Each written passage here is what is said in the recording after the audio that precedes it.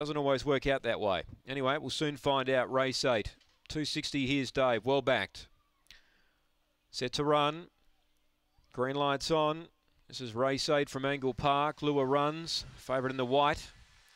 Ready away. Here's Dave jump pretty well. He's mastering, pushing through Labaz. Here's Dave's going to head off Labaz early though. He ran a bit wide but now crosses down. Third placing trademark boss. Running on was Watto's Revenge. Then came Ron Ray Legend. Well back Zazuda Khan. Labaz shuffled out of it with Amity Marlowe. Down the back. Here's Dave by two. Watto's Revenge gives chase. Then trademark boss. A gap then to Ron Ray Legend. Here's Dave's in front. He's three clear from Watto's Revenge. Tonight's his night. Here's Dave. Strides away to win by three.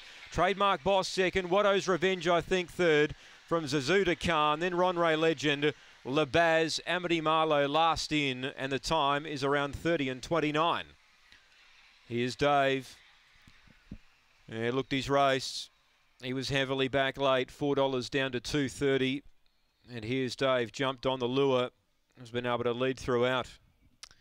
Here's Dave, number three, Don Turner, Number two, second trademark boss getting up on the rail. And Watto's Revenge runs third. Number four, Zazuda Khan runs fourth. Number eight. Three, two, four, and eight. He'd been out of luck.